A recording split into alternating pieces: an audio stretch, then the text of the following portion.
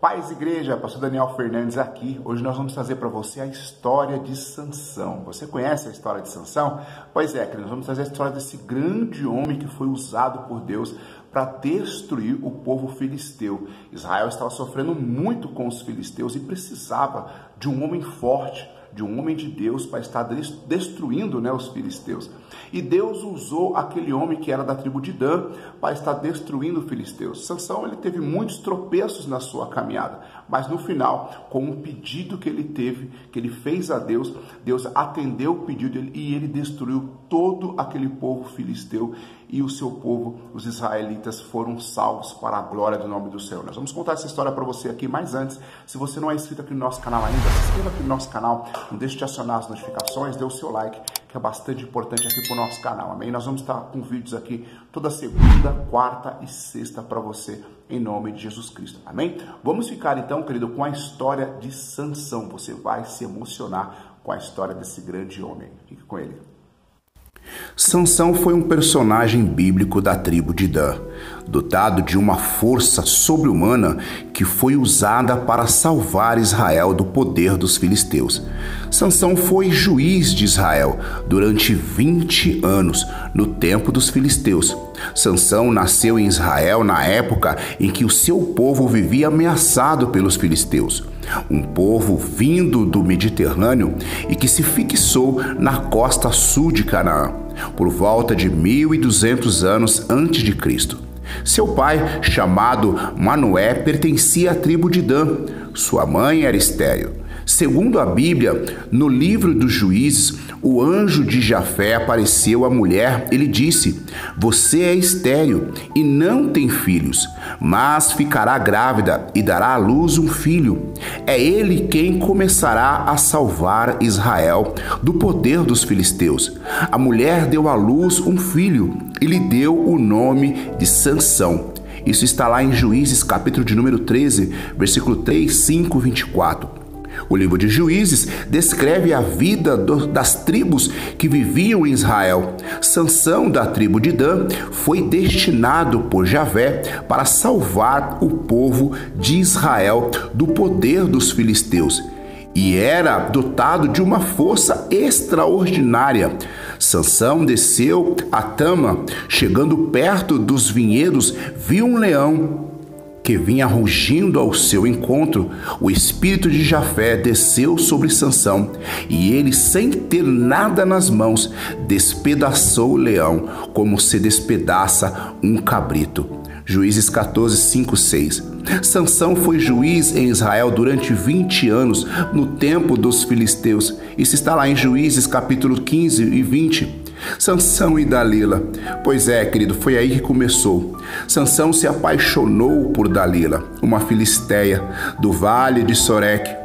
Os chefes dos filisteus procuravam Dalila e lhe propuseram: seduza Sansão e descubra onde está a grande força dele e de que modo poderemos dominar, amarrar e prender e cada um de nós dará mil e cem moedas de prata para você. Dalila tentou descobrir os segredos da força de Sansão. E ele lhes disse: Se me amarrarem com sete cordas de, de cordas novas, eu perderei a minha força e ficarei como qualquer outro homem. Dalila escondeu no quarto alguns homens, amarrou Sansão, mas ele arrebentou as cordas. Dalila se queixou que com Sansão, você caçoou de mim e mentiu.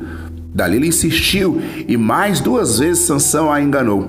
Então Dalila lhe disse: Como você pode dizer que me ama se não confia em mim? Sansão caiu no desespero e lhe contou a sua força estava no cabelo, que nunca havia sido cortado. Esse foi o grande erro de Sansão. Dalila sentiu que Sansão havia contado a verdade chamou o chefe dos filisteus. Dalila fez com que Sansão dormisse e cortou seu cabelo. Ao cortar, tinha perdido toda a sua força. E os filisteus o agarraram-lhe, furaram os olhos e o levaram para Gaza. Sansão foi preso. com duas correntes de bronze e ficou na prisão girando a pedra do moinho. Então o cabelo que tinha sido cortado começou a crescer de novo. Os chefes dos filisteus se reuniram para oferecer um grande sacrifício ao deus de Dagon. E para festejar diziam: Nosso Deus nos entregou o nosso inimigo Sansão, aquele que devastou nossas terras e multiplicou os nossos mortos. Eles estavam felizes. Mas Sansão foi levado para o templo que estava cheio de homens e mulheres e reunia todos os chefes dos filisteus. Sansão invocou Jafé e tomou as duas colunas centrais que sustentavam o templo e gritou: Que eu morra junto com os filisteus. E empurrou a coluna ao templo e desabou sobre todos que estavam ali. Sansão foi levado por seus parentes e enterrado em Saraá e Estaol, no túmulo de seu pai. Juízes 16, 27, 28, 29 e 31. Essa é a história de Sansão. Sansão que era nazireu, Sansão que cometeu muitas falhas, muitos pecados, Sansão que era vaidoso, que infelizmente não ouvia os seus pais, mas no último segundo da sua vida, ele clamou a Jafé, clamou a Deus e Deus escutou aquele homem, atendendo seu último pedido, e ele destruiu assim como havia previsto o anjo do Senhor, ele destruiu todos os filisteus e o seu povo foi salvo. Esse foi o vídeo de hoje. Espero que você tenha gostado. Se você gostou, não é inscrito aqui no nosso canal ainda, já se inscreva aqui no nosso canal. Não deixe de acionar as notificações e dê o seu like, que é bastante importante para nós. Um grande abraço e até o próximo vídeo.